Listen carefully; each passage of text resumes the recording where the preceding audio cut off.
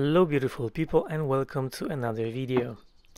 I've got this weird old table that I found on Facebook Marketplace that someone painted half of it, just the top, and the paint is supposed to imitate stone I think, so it's got texture, but this table has lots of issues. There are some bits that are broken, lots of missing pieces of veneer, and generally it just needs a lot of TLC. Looks like there was an apron or something attached underneath, but it's completely missing, so I can only guess. To make it easier for myself, I'm going to take the legs off.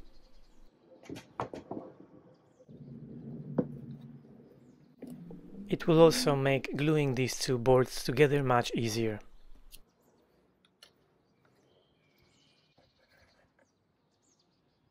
I'm just using my marking knife to have a gap between those two boards so I can get some glue in and that's way too much glue but oh well. I'll clean it up in a minute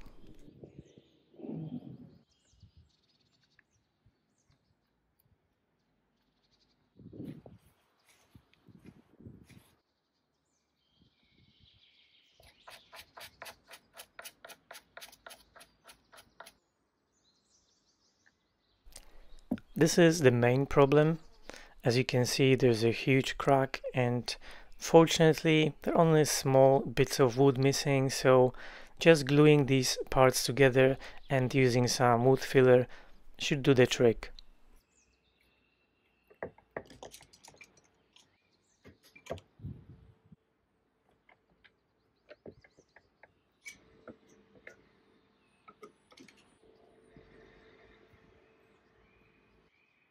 Because of the shape of the top, I couldn't simply use a clamp to clamp those two boards together, so I temporarily attached two pieces of plywood by using CA glue and activator, and that gave me a nice and flat surface for my clamp.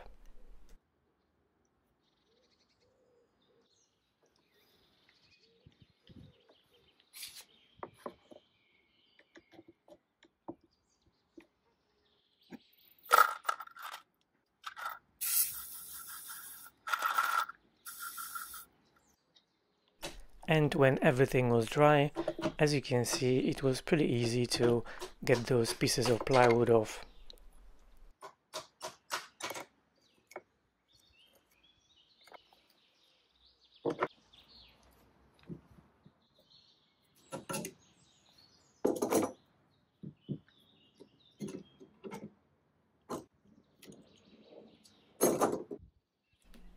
Okay, let's take the paint off. I was actually quite curious to see what's underneath. I knew it was some sort of veneer, but I didn't know what kind. And because the base of this table is not veneered, it's just mahogany, or actually I think it's a mix of mahogany and sapele. I just wanted to see what I was working with.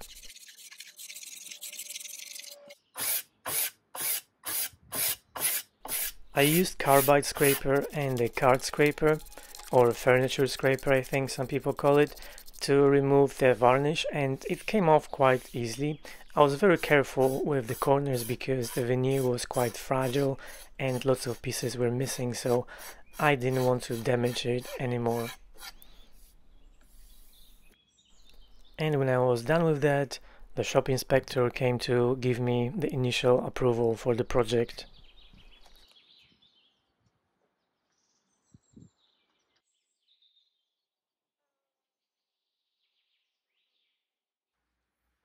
There were lots of dents and scratches in the veneer and some of them were quite deep. So I decided to use some moisture and just a regular iron to raise the grain and make it easier for myself to sand the veneer.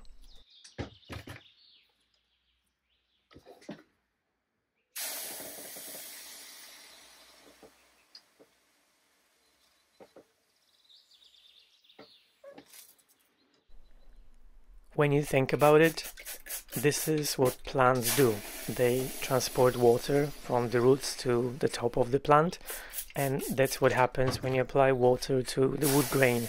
It absorbs it and it expands and even though it's not alive anymore, it you know, this still works. So when you have a dent, you put in some water, add some heat to make it a bit quicker, and it expands, it raises the grains, and it makes it easier to sand, so you don't risk sanding through the veneer. And this way you can fix quite a lot of scratches and dents.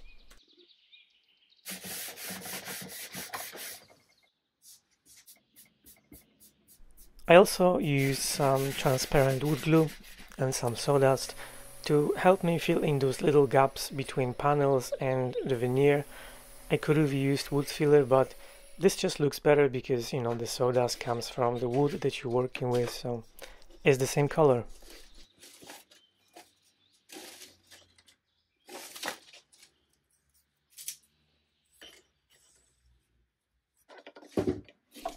These are all the pieces of veneer that I have left over from previous projects plus some veneer that I buy and I didn't have anything that would exactly match the veneer on this table for obvious reasons because this is very irregular and unusual but I decided to go with a piece of walnut veneer because it already had some vertical stripes that kind of matched what was on the veneer and I knew that with a little bit of help and some tricks I could make it work.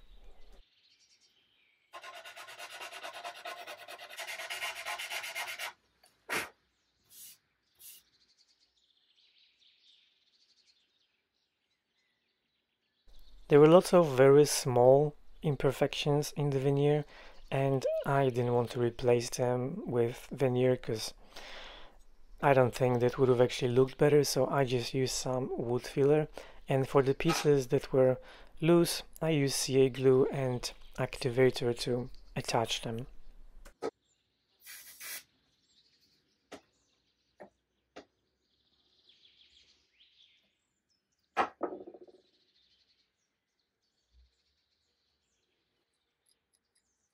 I'm not going to show you all the repairs because there were just too many of them but that's basically what I did. If there was a gap like this one or maybe a bit smaller I used a piece of veneer and if it was something very tiny I just used wood filler. As you can imagine when you work with old furniture and you source it from places like Facebook Marketplace you can't exactly pick and choose and sometimes there just isn't anything interesting available. And that's kind of what it feels like that the last month or so has been like. But I have found some pretty interesting pieces and the next couple projects will be very cool so stay tuned for that.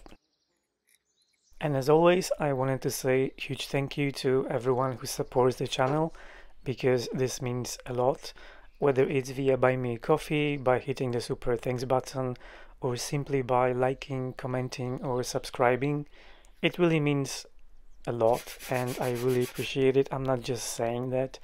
And for those of you guys who don't know, subscribing is free, but the reason people always ask for that is because I think that sometimes YouTube just unsubscribes you from the channel that you used to watch because that happened to me.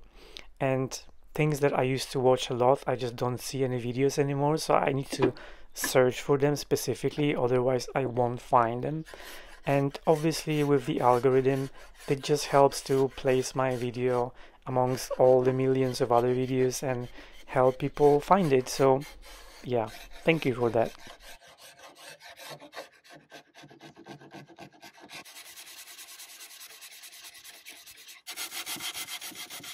If you're a regular viewer to my channel, you know that I often use whatever is available when I'm sanding or removing varnish. And in many cases like this when you have irregular shapes and like very difficult to reach places I just use whatever works. So there is no wrong and right method and you know works for me. So you do you if you think that there is a better way but that's just what I do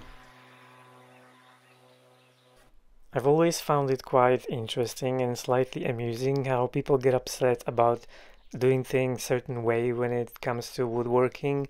I mean, come on, this is just a piece of furniture that you're working with and you're trying to do your best. Not everyone is a trained woodworker And even if you are, there's not necessarily just one way of doing things. Just do your best as long as you're happy with the results. 2,000 years later.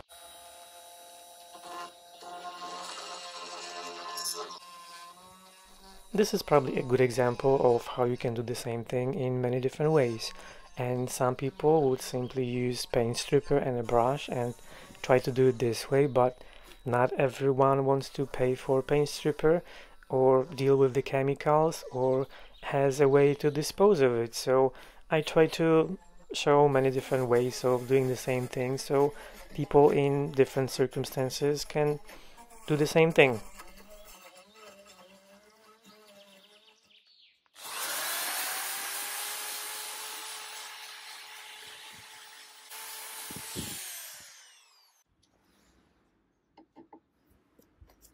There was a piece of this decorative element missing, so I used my dental tool and a little bit of wood filler and I shaped it to match the rest of those beads and it worked. Again, just one way of doing it.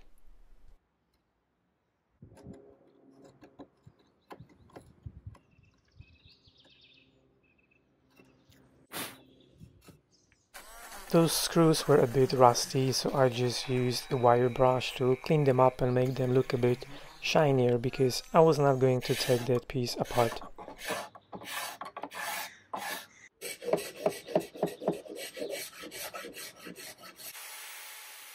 For those of you who say that it takes a long time between videos, this is why. I can't really get anything done because of all those cats. I'm just kidding. I love them, but yeah, they do come around quite often and um, they distract me from work. And as you can see, I absolutely hate it.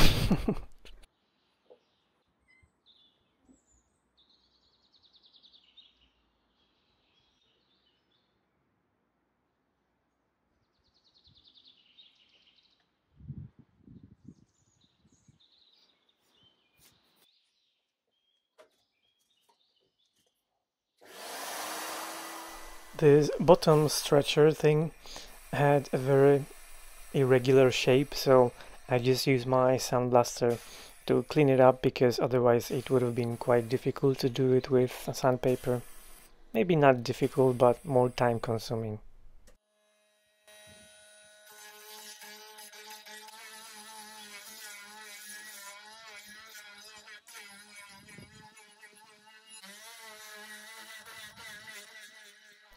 I find this oddly satisfying. It feels a little bit like doing dental work, but it worked very well and yeah, it was actually quite fun.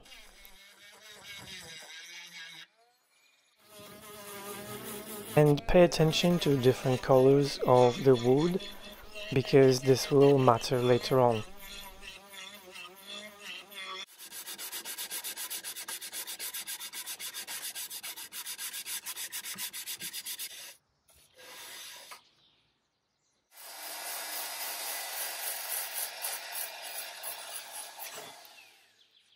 As you know, I'm the biggest fan of sanding, so this is just one of my cool little tools that comes very handy for areas like this one.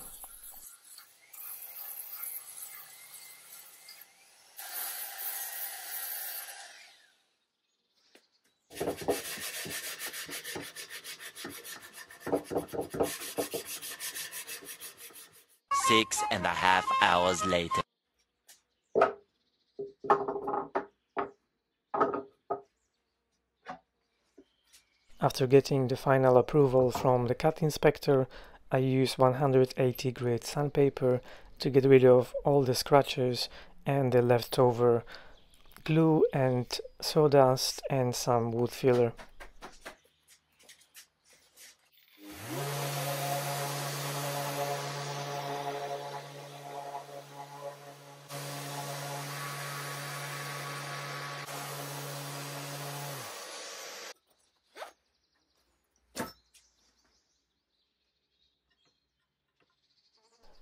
Were still some tiny bits of white paint deep in the grain so I just used this very precise dental tool to get rid of them. And for those couple deeper holes in the veneer, I just used some UV resin and UV light to cure it and that was a pretty simple fix.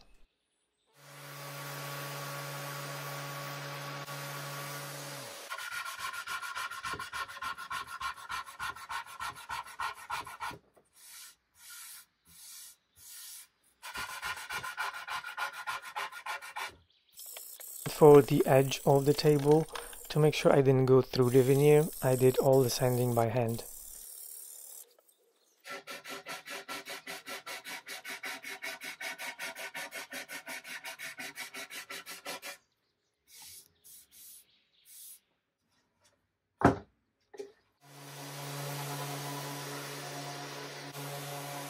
And as it's usually the case, I like to sand and clean the bottoms of all the pieces that I work with, so that's what I did for this one.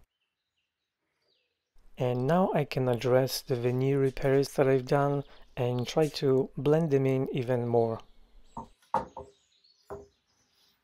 So as you remember, I used walnut veneer for the repairs and the veneer has different color from the veneer used on this table. And to help it blend in a bit more I'm just using some water-based wood dye and giving it some color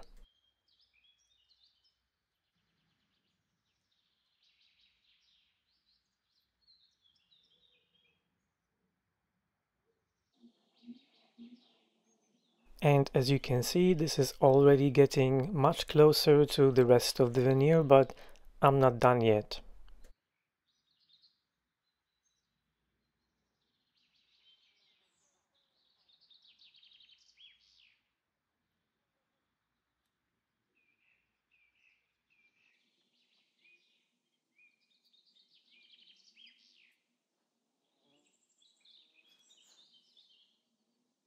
I did that for all the repairs that I've made as a base for the next step.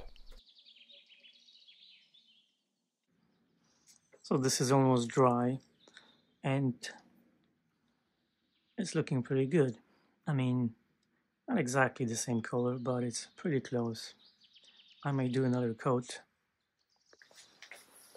So this is the big piece that I replaced and it's already pretty nicely blended in. I mean, you can hardly tell that this is a different piece of veneer, but what I'm gonna do, I'm just kind of try to imitate the same vertical lines in different shades to blend it in even more.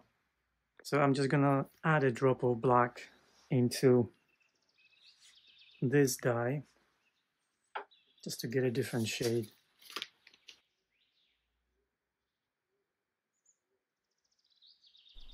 And just so you know, I cannot draw to save my life. So this is something that I've never felt comfortable doing, but there is really not a right or wrong way of doing it as long as it looks kind of like the rest of the veneer. If you didn't know this has been replaced, you would not know. This looks really good. I'm pretty happy with it. This is wet because I just applied mineral spirit or white spirit just to see what it looks like and see if there are any scratches. And there were some patches of light wood, but it's not because I sanded through the veneer. It just looks like there are layers of color in the grain and I don't know, it just looks a bit odd. So I'm gonna try and fix this with a little bit of dark mahogany stain. And I've been just basically very lightly trying to add some color into these patches. And um, in case this works I just want to film it so you guys know what I did. If it doesn't work oh well it already looks much better because it was definitely lighter and you could easily see it. It's much, much better now. So hope it looks okay once I apply the finish. And I'm also blending the edges with a piece of cloth that has some white spirit on it just to make sure there's no sharp edges.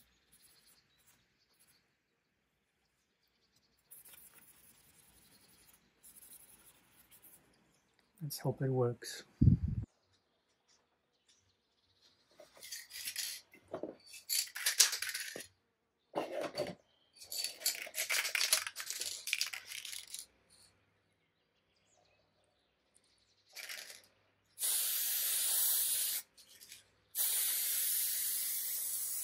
I couldn't decide for the longest time what to do as far as the finish, but I ended up choosing polyurethane. And I probably should have used wood filler, but I didn't have any, so I just applied polyurethane directly to the wood. And because it's quite porous, you can see the grain, despite me using five coats of polyurethane. And I wanted to get this video out, so I didn't have more time to apply another couple coats and I will do it after the video is out but just so you understand that if you can see a little bit of wood grain showing through the finish that's why. But it is very glossy it is very nice and shiny and I'm quite happy with it.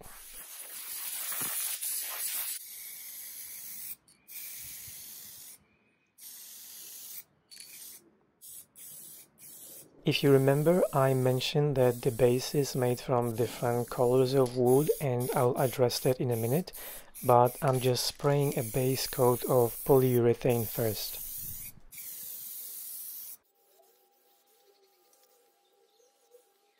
As you can see, I applied several coats of polyurethane and it's looking pretty gorgeous.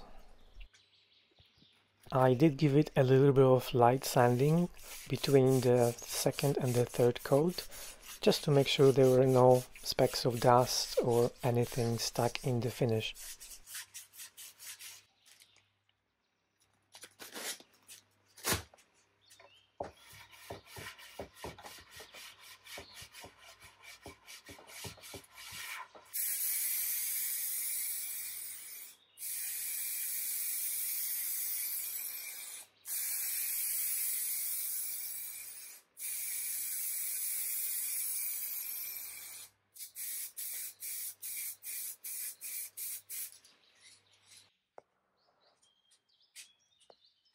And this is my plan how to fix the problem of different colors of wood. I'm gonna use lacquer toner and I'm gonna start with mahogany color just to give those bottom pieces a little bit of red because otherwise it would have been quite difficult to blend them in with the rest of it and then I'm gonna use walnut color on top of mahogany and this just gave me the best result and this is not an exact science and you basically try and see what works and I was pretty happy with how it came out.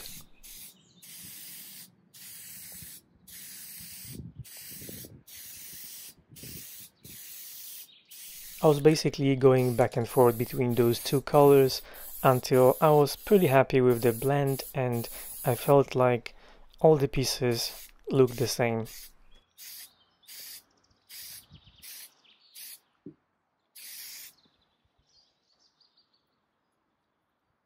I'm pretty much done with the project and before you see the final results, as always, comment, like and subscribe if you enjoyed the video and if you're feeling super generous, you can hit the super thanks button and I'll love you forever.